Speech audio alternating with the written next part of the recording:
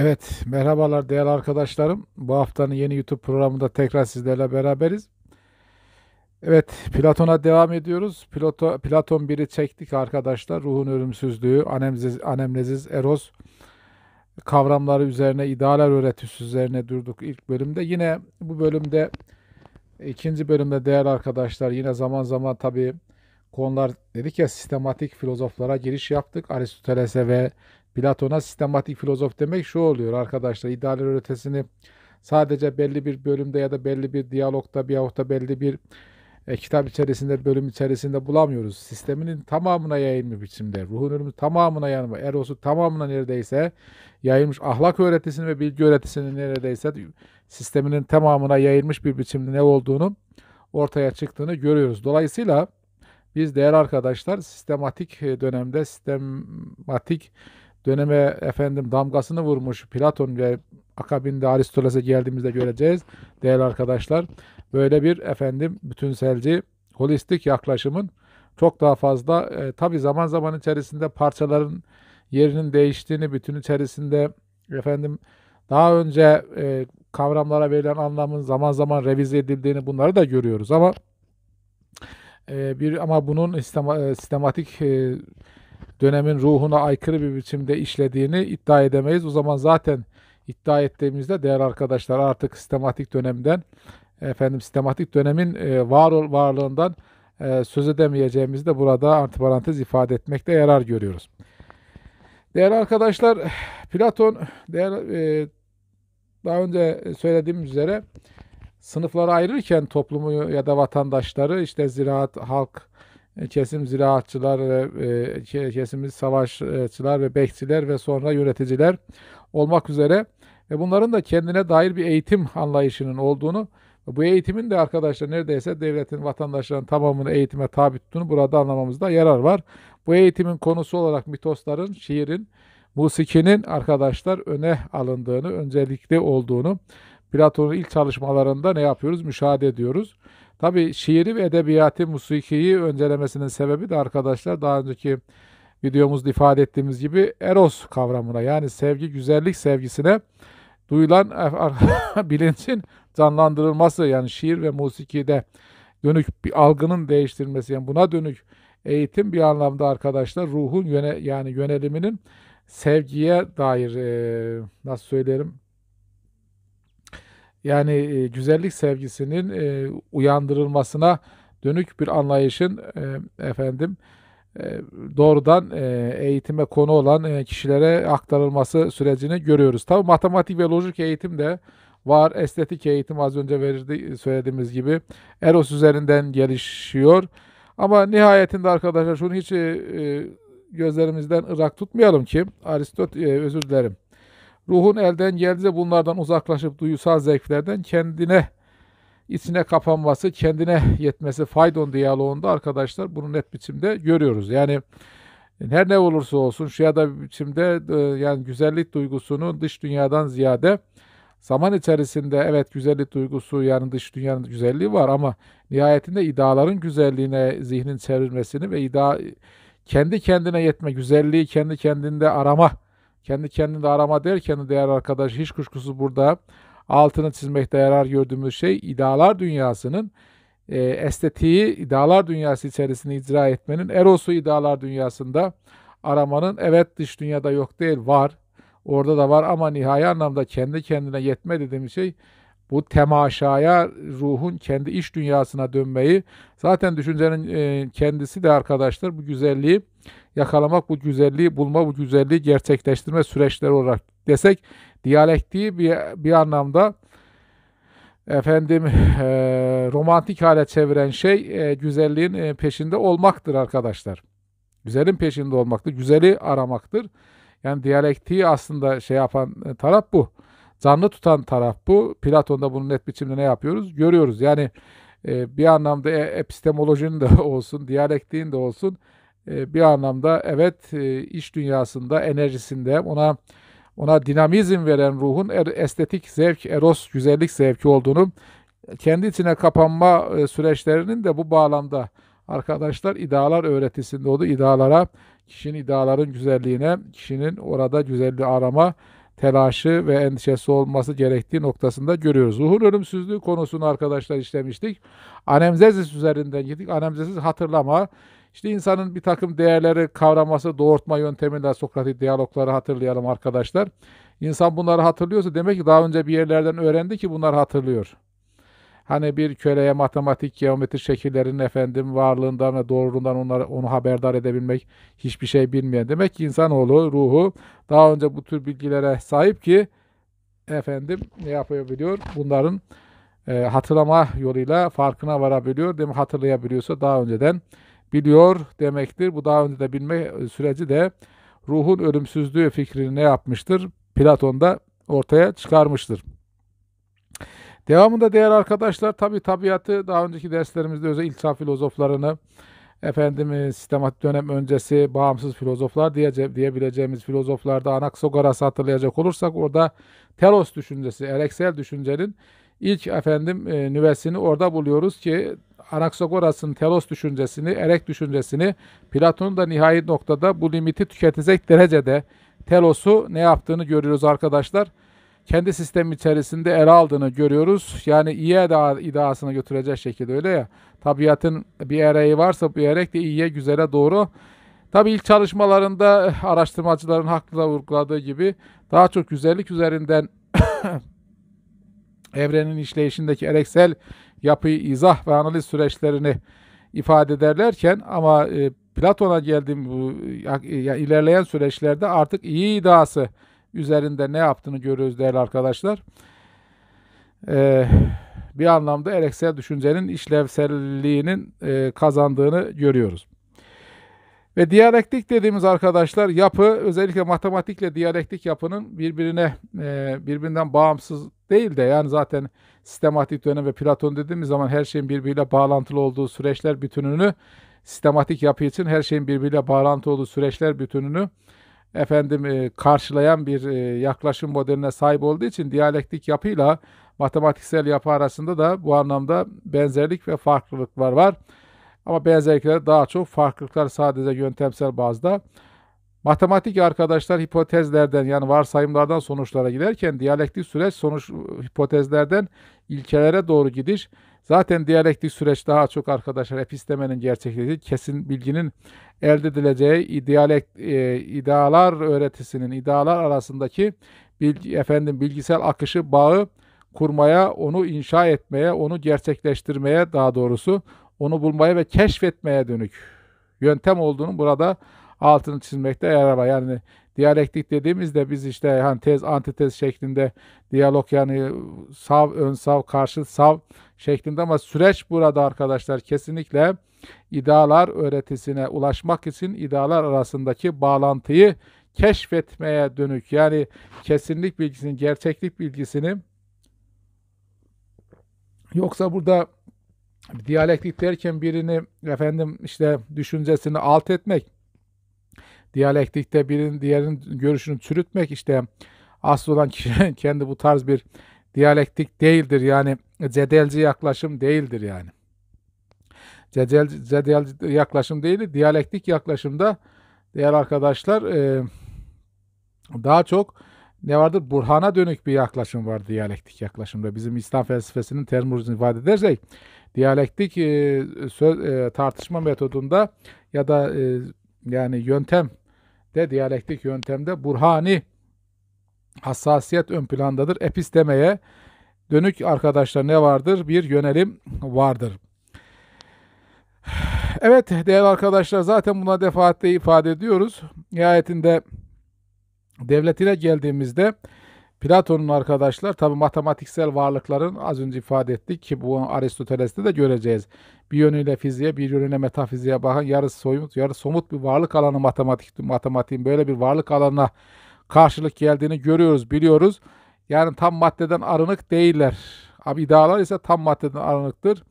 Doğanın varlıkları ise füzüsün varlığı ise daha çok arkadaşlar burada neyin e, efendim e, şeydir? Genezisin yani oluşun ve bozuluşun varlık alanıdır. Dolayısıyla doksalar daha fazladır.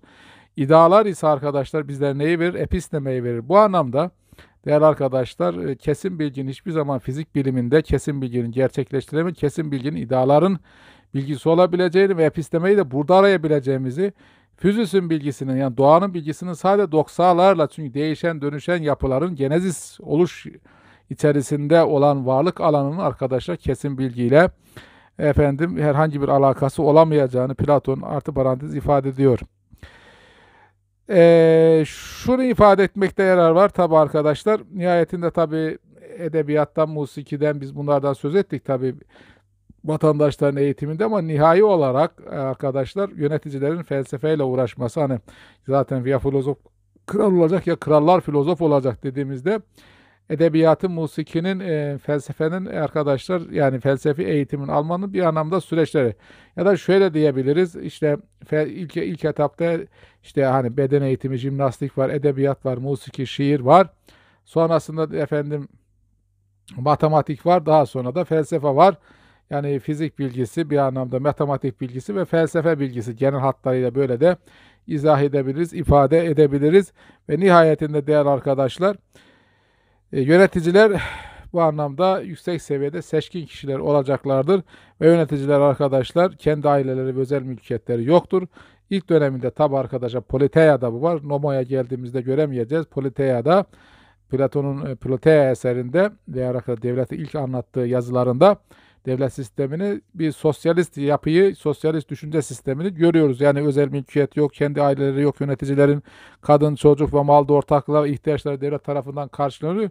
Böyle bir sosyalist düşünceyi görüyoruz politiğada ama ilerleyen nomoy dedim yasalara geldiğimizde arkadaşlar realist bir devlet anlayışı ve toplum anlayışından arkadaşlar daha çok yani hayatının son dönemlerinde bunu bir devlet ve toplum ve siyaset felsefesi bağlamında daha fazla yeğliyor.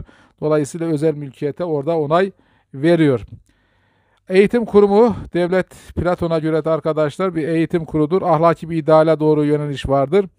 Ve yine de tabi devletin dininden bahsedebiliyoruz. Bunlar mitoslar ve devlet dini bir eğitim aracı olarak kullanılır. Vatandaşları eğitmek için mitoslar, dini efsaneler, dini inançlar, inançlar, dini inançlar, mitoslar, efsaneler eğitimin bir aracı olarak ve bunların hepsi de arkadaşlar nihayetin ahlaki simgeler olarak karşımıza çıkıyor. Ya ne olursa olsun arkadaşlar e, Platon'un e, çalışmalarında ahlaki erdem her zaman için mutluluğun biricik kaynağıdır ve mitoslar olsun eğitimde dini inançlar olsun, inançlar olsun ahlaki erdemin sembolü ve bunları gerçekleştirmenin araçlarıdır.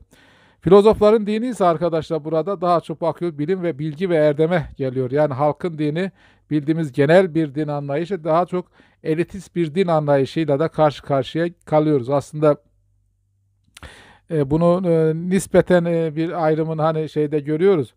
Yani hikayeler diyor ya hani işte edebiyat, mito, anlatılar de diyor şeyde e, söyleyin.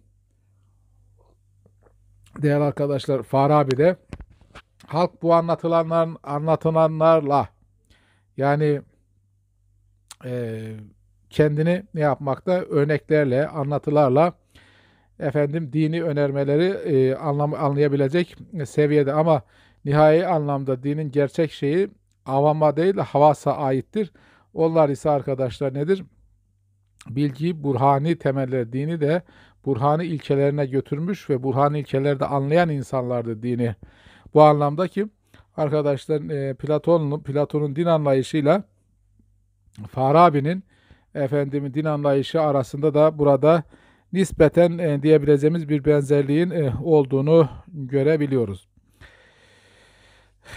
Evet değerli arkadaşlar tabi Platon az önce ifade ettik bir e, holistik dediğimiz bütünselci bir yapıda değerli arkadaşlar e, sistematik bir dönemin filozofu olarak kendi düşüncesini icra ediyor ve süreç içerisinde iddialar öğretisinde de bir takım revizeye gittiğini görüyoruz ki iddialar neyin iddiaları olsun? İlk önce ahlakın ve güzelliğin, sanatın, estetin iddiaları, nihai idealer ve yani e, idealar kadrosu diyebileceğimiz hiyerarşiyi bu yapı ve kavramlar üzerine inşa eden zaman zaman artık duysal dünyanın işte nesneler dünyasının e, da bir takım iddia fikirleri yani çirkin iddiası da olabileceğini yani hani nihayetinde e, kötülüğün de bir iddiası olabileceğini dış dünya realite üzerinden giderek bir anlamda e, iddialar e, sınıfını, kategorisini bir anlamda genişletmiş olduğunu görüyoruz. Duysal nesnelerin de iddialarından bahsedebileceğini öne çıkararak bir nevi iddialar öğretisinin e, e, kapsamını genişletmiş oluyor. Sadece güzel yani iyinin, güzelin işte ahlaki erdemlerin vesaire idarası olmaz. Kötü şeylerin de yani anlatabiliyor muyum? Arkadaşlar çirkin şeylerin de aklımıza gelebilecek ne varsa onların çünkü iddia dediğimiz şey bir anlamda cinstir Sokrat'taki arkadaşlar. Yani anlatabiliyor muyum? E, ortak olan şey bir nesnenin mesela kalem gibi diyoruz. Bütün kalemler işte insan, tüm insanlar anlatabiliyor muyum? E, bunun gibi bir cinse karşılık gelen bir şey. Tabi duysal dünyada arkadaşlar nihayetinde iddialardan pay alma olayı vardır. Şimdi burada varlık öğretisinde değerli arkadaşlar enteresan bir noktaya geliyoruz. İddialardan pay almıştır bir anlamda değil mi? Böyle söylüyordu iddialar öğretisini anlatırken duyular dünyasıyla olan iletişimde. Duyular dünyasının iddialar öğretisi, iddialardan pay alma, meteh, metehsis dediği, pay alma ya da katılma dediği efendim Platon'un süreç içerisinde değerli arkadaşlar şunu şunu bir de paruzya dedi bulunma dediğimiz yani bir bulunmuşluk durumu var. Bir bulunmuşluk durumu var ki ne de varlık da bir bulunmuşluk bulduk. Yani ya kendimizi bulduk böyle. İnsan olarak bulduk. Taş olarak bulmak yani anlatabiliyor muyum? Yani e, pay alma bir anlamda metehsiz ama bir de daha temelde ne var? Paruzya. Yani bir anlamda e, cevherle beraber olma yani kendini kendi özünü bir şekilde bulma yani bir bulunmuşluk durumu var. Bu kavram arkadaşlar İslam felsefesinin vücut kavramına da e, kaynaklık, semantik kaynaklık teşkil etmiş bir kavramdır. Bu ne kadar efendim işte e, doğru isabetli biçimde çevrildiğini görüyoruz. Ama aynı zamanda bizdeki varlık kavramının da doğrudan varlık kavramı değil vücut kavramı bir bulunmuşluk ifade ettiğini de burada ifade et, belirtmemizde yarar var. Yani zaten vezede kelimesinde dikkat ederseniz vezettü bir şeyi buldum demek bir bulunmuşluk. Vicdan kelimesi de bir bulunma halidir yani. Bir bulunma halidir. Bir tabi bu bulunma hali de şunu da ifade eder arkadaşlar. Formlar inşa edilmez, bulunur, keşfedilir. Zaten hani e, bu anlamda Platon, Platon'daki öğretiyi de burada tekrar anlamakta yarar var. Bilgi öğretisinde yani formlar inşa edilmez, formlar bulunmaktadır. Varlık da bulunulan şeydir. Pay alınan o payı bulmaktır ama payların zaman zaman görünür ve kaybolma durumları var arkadaşlar dış dünyada. Bu da enteresan bir şey. Bu nasıl gerçekleştiği de ayrı, ayrı bir tartışma konusu. Zaman içerisinde değerli arkadaşlar Platon'da neyi görüyoruz arkadaşlar? Evet, İdaların işte nasıl ki real dünyanın da işte hani kötünün de çirkinin de iddiası olacağı şeklinde, şeklinde bir iddialar anlayışının genişletilmesiyle birlikte artık iddiaların e, nihai iddialar son işte en, en iyi şey en iyi şey en üstün iddia iyi iddiası iyilerin iyisi Tanrı bunu görüyoruz. Ama arkadaşlar artık e, bir anlamda işte kötünün de iddiası olabileceği fikrinden e, ötürü e, idalara nihailik vermekten ziyade ki var özelliği de ama biraz daha e, yumuşatıyor yani idaların içeriğini ve ilk örnekler olarak görüyor. Yani idalar ilk örneklerdir yani bunun karşılığı da paradigma, paradigmata bizde paradigma kelimesi buradan geliyor ilk örnek. Paradigmata ilk örneklerdir. Ve bu ilk örneklere bakarak Tanrı diyor işte efendim e, e, dünyayı yaratır, Demorgos e, yaratır. Demorgos bir anlamda idanın kendisidir arkadaşlar. Yani e, yani biçim verme iddiasının kendisi de biraz şeye benziyor gibi. Yani vahibi süvere suretleri verene benziyor Demorgos yani şeyin e, Platon'un Demorgos'u Pla, e, bizdeki bu yeni Platoncu iddia şeylerde arkadaşlar e, vahiy bir süvere benziyor. Yani suretleri veren, formları veren, biçimi veren. Zaten Demurgus biçim kazandırmış olan, Demurgus biçim kazandıran varlık e, olarak Platon'un sisteminde yerini alır. Belli bir eğreye göre bunu yapıyor. İyi iddiası ile bunu ne yapıyor? Gerçekleştiriyor. Nihayetinde tanrısal akıldır arkadaşlar işlevsel olan yani tanrısal akıl nus.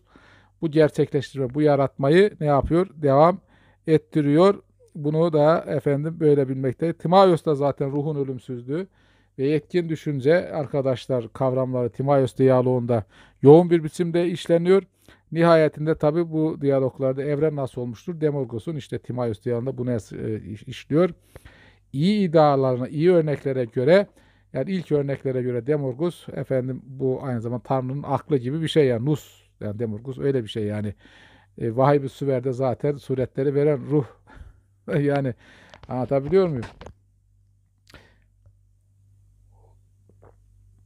Ee, dolayısıyla bir anlamda e, bir melek gibi de diyebiliriz Demurgus'a yani suret veriyor, biçim veriyor. Cibril karşılığı da yok değil. Hatırlayacak olursak Vahib-i Süver'in kavramlar birbirlerine ne kadar anım, e, birbirlerine benz, e, yani benziyor ve anımsatıyorlar. Timaios da arkadaşlar yine bu konuya devamında yetkin bir dünya yani nihayetinde eksik bir dünya değildir. Yani yetkin bir dünyadır. Hani bazen e, ve yetkin bir dünya tek bir dünya yetkin bir dünya eksik bir dünya değil arkadaşlar. Hani zaman zaman işte asıl alemi, ideal alemi, gölge alemi yani burası sahte kopyası derken buranın gerçek olmadığı anlamda değil. Yani iddialara göre nihai gerçeklik değil. Yoksa gerçek yani böyle hep anlatılır işte Platon'un efendim işte e, yani akla da gelmiyor değil bu eleştiri. Yerinde de bir eleştiri ama biraz Platon'u tam anlamıyla e, ne demek istediğini e, biraz da yani anladığımızda böyle bir itirazda Platon'a bulunamayız. Bunu demek istiyorum. Nedir o? Platon evet iddiaları gerçek, nihai gerçek. Neden? Çünkü değişmenin konusu yok. Değişmenin konusu değil iddialar ötesi. Dış dünya değişmeye muhatap genezis oluş bozuluş olduğu için burayı gerçek bunun için kabul Yoksa burası yetkin değil, eksik, noksan bir şey anlamında değil yani. Hani tükak edilen kopya deyip böyle al buruşturup at gibi bir dünya ya da varlık tasavvurun burada e, şeyde görmüyoruz. Bunu antiparantez ifade edelim. Yetkin bir dünyadır, tek bir dünyadır ve yani var olan bir dünyadır. İşte Demokritus'ta işte hani bir kaos vardı. Kaos işte neye gebe? Birçok aleme gebe. İşte dünyada bu alemde, evrende bu alemlerden biri ya da dünya bu alemlerde dünyalardan bir tanesi deyip kaosun sonrasındaki böyle bir çeşitliliğe imada bulunmaz. Tek bir dünyada vardır. Yetkin bir dünya vardır. Demokratesi de üstü kapalı. Bu anlamda Platon'un eleştirisinde olduğunu burada görmemizde yarar var. Ama iyi dahası olan yani Demorgus bir anlamda biçim veren vahibi süver gibi bir şey. Arkadaşlar e, Tima şeyde e, yani gerçek alemdir burası ama neye göre gerçek? Daha, daha doğru e, kopya yani idealar öğretisine göre kopya. Yoksa, yoksa burası yani yetkin bir dünya. Gerçek bir dünya yani. Ha, idealar ötesine baktığımızda idealar dünyası tabii ki idealara göre gerçek değil arkadaşlar. Tabi uzay kavramına geliyoruz arkadaşlar. Uzay kavramı Platon'da işte evrenin matematiği, onun ruhu, işte uzay arkadaşlar uzay olmadan bir anlamda e, cisimler biçimlerini, biçimleriyle, formlarıyla birlikte kendini gerçekleştiremez dış dünyada. Uzay bir anlamda değerli arkadaşlar şunu görüyoruz ki Platon'da efendim e, Aristoteles'teki heyulanın karşılığı yani uzay kavramı.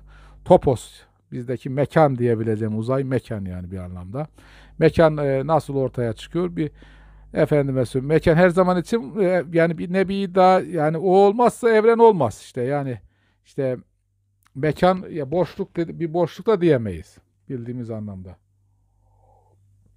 Yani şey saat bir boşluğu kabul etmiyor. Bir an e, şey Platon. Evet. Platon atomcuların boş uzayını kabul etmez. Bu, bu noktadan çok net yani.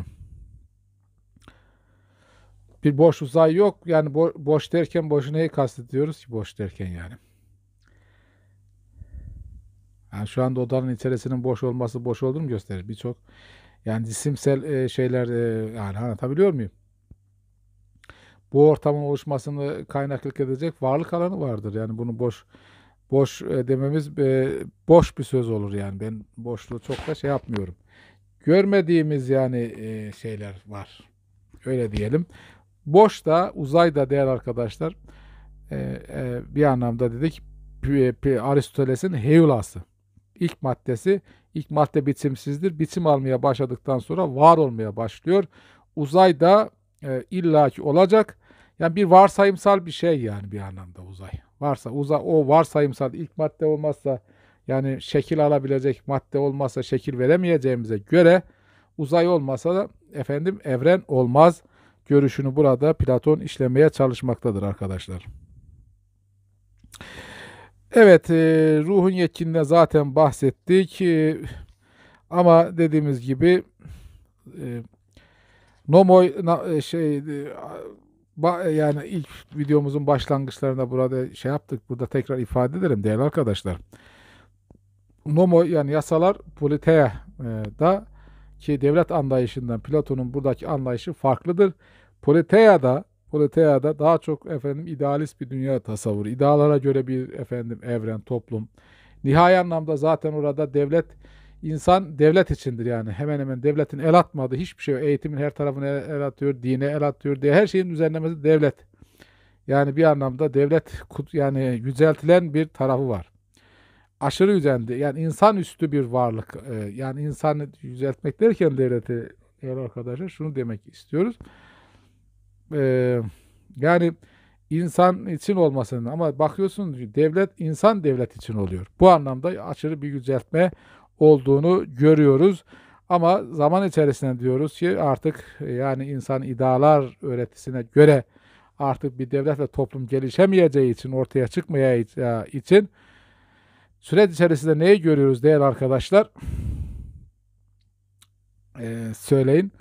Ee, Platon'un realiteyi esas alarak bir devlet toplum tasavvuru geliştirdiğini, artık buradaki devlet ve toplum arasında özel mülkiyetin de ortaya çıktığını, yasaların, törelerin olduğunu, nomoy daha çok yasalar ve törelere tekabül eden bir efendim e, yasayı şey yapıyor, barındırıyor kendi içerisinde ve dolayısıyla e, e, değerli arkadaşlarımız burada e, işte Yöneticiler felsefeye göre, felsefeye göre kendileri yapacak, yapacaklar, eğitecekler. Tabii felsefe burada ilkelere göre arkadaşlar yani nihai ilkelere göre. Yani nihayetinde işte edebiyat var, yine şiir, musiki var, güzellik var. Güzelliğin efendim şey etmesi var ama daha çok süreç içerisinde artık güzelliğin yerini iyi iddiası alıyor ve iyi iddiası da ancak felsefeyle gerçekleştirecek bir sürecin adıdır arkadaşlar ve her yerde yasa egemendir. Örf adet din de bunun içerisindedir. Ve daha çok realist bir devlet toplum anlayışını görüyoruz. Artık devlette kadın ve mal ortaklığı ortadan kalkıyor. Evlenme ve özel mülkiyet devreye giriyor. Nomoylarda, nomoy yani yasalarda bu ikinci dönemi diye bir yaşın yani zaten hemen hemen evet son eseri yani ömrünün sonlarına doğru yazmış olduğu bir eser Nomoy. Değerli arkadaşlar Platon'un bu da önemli. E, dolayısıyla relatif bir mutluluktan ya da relatif bir iyilikten, mutlak bir iyilikten değil, relatif bir iyilikten ve iyi olan devlet. Yani artık ilkelere göre toplumun kendini gerçekte idealar öğretisine, ideal dünyaya göre bir toplum, devlet tasavvuru geliştirmenin zorluğunu gördüğü için yaşadığı süreçler içerisinde bir fiil özellikle arkadaşlar tabii yani kendisi de bir takım yönetimlerde bulunuyor. Yani yönetim içerisinde devlet yönetimlerinde vesairede tanık oluyor, tecrübe ediyor. Diyor toplum ancak kendi aralarında oluşturdukları yasalar ile dinde bunun içerisinde var örf adetler. Zaten din dediğiz arkadaşlar daha çok toplumun kendi kabulleri yani inançları, efsaneleri. Bunlara göre arkadaşlar toplum ne yapar? Kendi yaşayışını düzenler dediğimiz gibi artık özel mülkiyette ortaya çıkmıştır. Özel mülkiyette vardır efendim evlenme var. Kadın mal ortaklığı ortadan kalkmıştır. Ve işte aristokratik bir monarşi vardı Politeia'da ama e, Nomo'ya geldiğimizde arkadaşlar monarşiyle demokrasinin bir araya efendim geldiği, e, karıştığı bir ideal devlet yerine bir realist bir devlet anlayışını görüyoruz. Niye arkadaşlar? Demokrasi halkına yani ha orada aristokratı yani belli seçkinlerin yönettiği bir şey vardı iddialar öğretisi, öğretisinde ve temelinde Politeia'da. Ama artık realite egemen olmaya başladığı zaman demokrasi de ne yapıyor? Ortaya çıkıyor. Yani herkesin görüşünü alınacak, herkesin fikrinin sorulacağı. Ya diyorsun ki yani işte e, bu bilenlerle bilmeyenlerin oyu aynı olur mu? İnsan olarak insan olma noktasında herkes eşit de konuyu bilme noktasında herkes eşit mi? Eşit değil arkadaşlar. Bir şeyi bilerek e, o bir şeyin bilgisine sahip olarak oy vermeyle bir şeyin bilgisine yeterince bilmeden oy vermek arasında o kadar fark var ki. Yani seçkinler e, bir anlamda şeyi çok bariz biçimde öne çıkıyor ki bu noktada arkadaşlar şey de öyle diyordu. Yani Sokrat hani e, neden demokrasiden nefret ediyor derken o videomuzu hatırlayacak olursanız bu yani sıradan bir iş değil ki diyor. Belli yani bilenlerin yapabileceği bir iş. Evet, değerli arkadaşlarımız. Ve e, o da e, matematik de süreç içerisinde tabii iddialardan yavaş yavaş realiteye geldikçe arkadaşlar matematiğin de kıymeti ne etmeye başlıyor? Artmaya başlıyor. Çünkü realiteye yaklaştıkça matematiğin de kıymeti artmaya başlıyor arkadaşlar.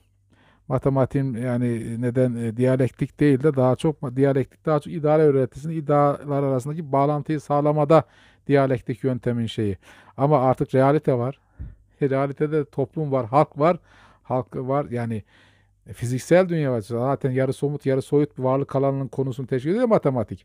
Dolayısıyla artık realiteye yaklaştığımızda idealleri yaşayamıyorsak o zaman realite egemense matematik de diyalektiğin nispeten yerini almaya başlıyor. Dolayısıyla ha, biz bunu konvansiyonellik ortaya çıkıyor. Yani uzlaşımsallık ortaya çıkarıyor, çıkıyor.